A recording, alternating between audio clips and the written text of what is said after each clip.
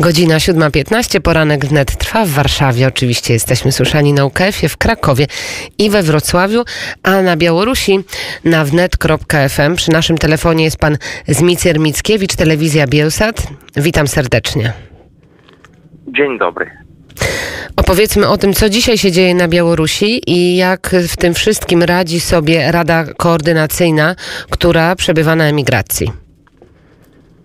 No to e, najpierw trzeba powiedzieć, że, ta, że Rada nie w całym składzie przybyła na emigracji. Teraz e, w ogóle prezydium Rady w większości oczywiście przybywa na emigracji. I jeszcze trzy, e, trzy członki tej Rady są w areszcie. No ale jeden z tych członków teraz właśnie jest w pracy.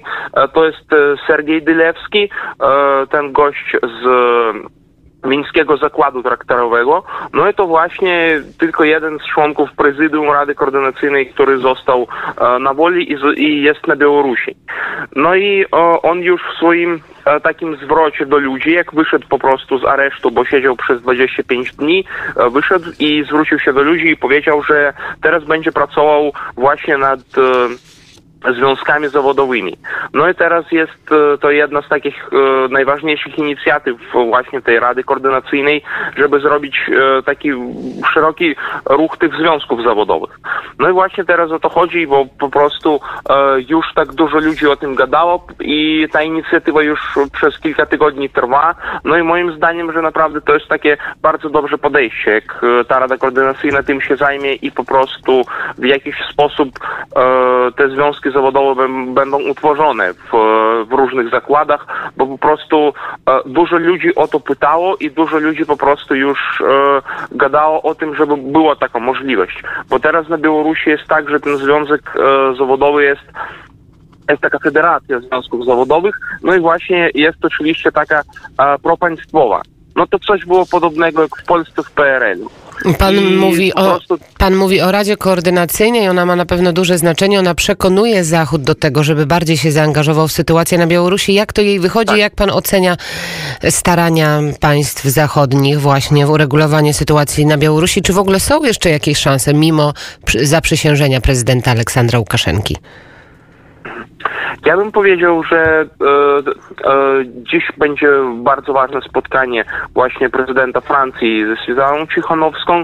To też e, pokaże po prostu, że e, Radę Koordynacyjną i Cichanowską jako subiekta, z którym można gadać, jako, e, jako subiekta do, do negocjacji na Białorusi, bo już po prostu widać, że z Łukaszenką i w ogóle z reżimem białoruskim e, nie może być żadnych negocjacji, bo po prostu to nie jest e, subiekt legitymny i po prostu to, to nie są ludzie, które e, mogą e, po prostu wykonywać to. Rozumiem, jakie, rozumiem dogadali. jakie, jaki scenariusz w takim razie widzi opozycja, no i widzą obywatele.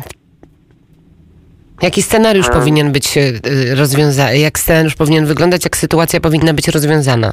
Mm, Ja bym powiedział tak, że wszyscy się spodziewają, że w jakiś sposób tam Łukaszenka e, będzie, e, pogodzi się na jakieś negocjacje.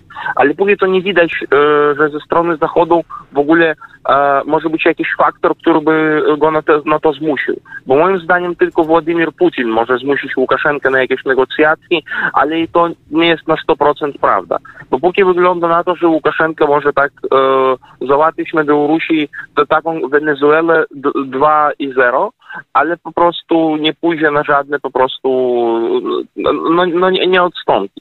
Bo póki pokazuje na to, że nie chce odstąpić i po prostu chce w jakiś sposób dogada, dogadać się z Putinem i sprzedać mu e, tak zwane zachodnie zagrożenie.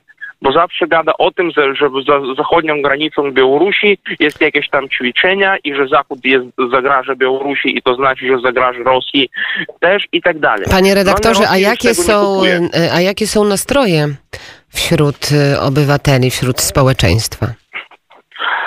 E, ale e, nastroje póki są pozytywne. I to jest dziwne, że już, już jest 52 dzień protestów e, i władza nadal trwa i represje nadal trwają, ale ludzie myślą pozytywnie. I ludzie gadają, że w każdym razie zwycięstwo będzie w taki czy inny sposób.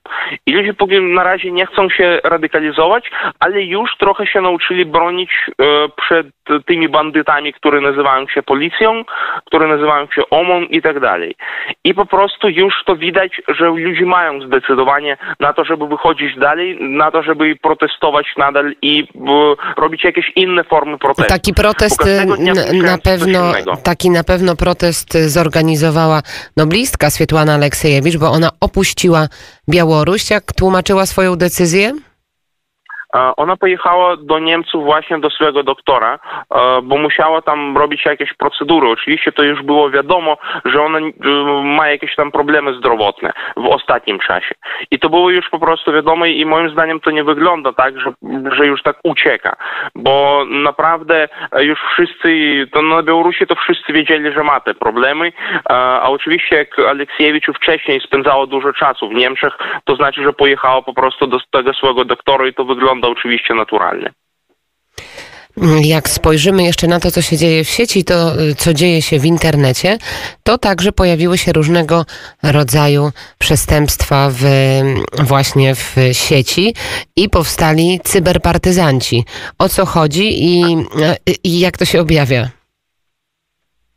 No to jest po prostu spółka ludzi, e, która jest i na Białorusi, i e, za, międzami, za granicami Białorusi, e, no, która właśnie walczy z reżimem przez internet. I już parę dni temu to była w ogóle taka najbardziej znana akcja, że te cyberpartyzanci odłączyli telewizję państwową w, przez internet i włączyli zamiast tej telewizji na wszystkich kanałach nagrania z protestów i po, pokazywali po prostu jak ten OMON e, bije ludzi, zabija i tak dalej. I były pokazywane po prostu takie najbardziej, no, to, no, najbardziej straszne takie filmiki, najbardziej straszne nagrania z tych, z tych protestów były pokazywane przez jakieś tam, przez jakiś czas, a potem w ogóle wszystko się odłączyło. No i podłączyło się tylko przez, no nie wiem, przez jakieś tam parę godzin bo w ogóle w internecie potem nie było e, transmisji tych państwowych kanałów, no żadnego z nich.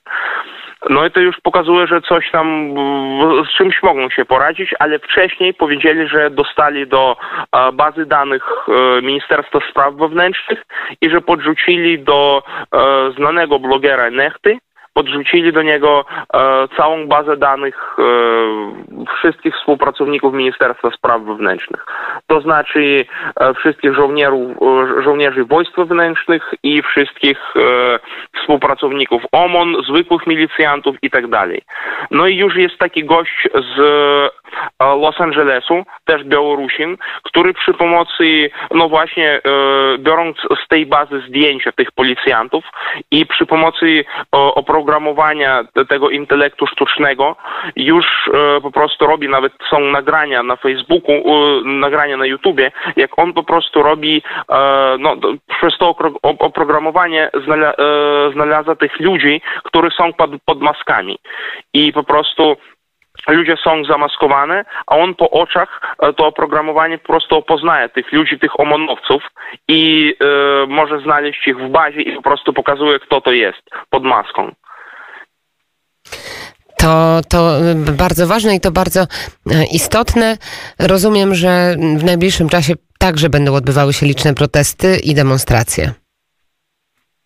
No może być tak. I moim zdaniem po prostu już, no już widać, że nawet wśród milicjantów już, już jest trochę taka, już są trochę tak zdemoralizowane, bo po prostu widzą, że ludzie będą wiedzieli, kto to jest, E, ludzie będą wiedzieli, gdzie oni mieszkają i tak dalej. I właśnie na tym polega problem. I jeszcze, e, no, w dużej skali e, milicjantów zdemoralizowało informacja o tych premiach, które dostał OMON za to obijanie ludzi i tak dalej. Bo na, bo na przykład dla takich zwykłych milicjantów, nawet na poziomie pułkowników, ta, taka kasa po prostu jest nieosiągalna. Oni otrzymują takie wypłaty gdzieś tam za pół roku. A jak zwykły omonowiec, e, na, nawet nie będąc oficerem, dostał takie wypłaty e, tylko za to, że ubijał ludzi, no to, to trochę trudno i po prostu to też demoralizuje e, policję. I już e, no, według tam różnych informacji około 6 tysięcy ludzi e, się zwolniło, no podało e, ta, takie proszenia o zwolnienie e, po tych protestach. To znaczy, że za 52 dni 6 tysięcy ludzi, no moim zdaniem to jest dużo. Tak, to ta liczba na pewno robi wrażenie. Bardzo dziękuję. Zmicjer Mickiewicz, telewizja Bielsat, Dziękuję również. prosto z Białorusi.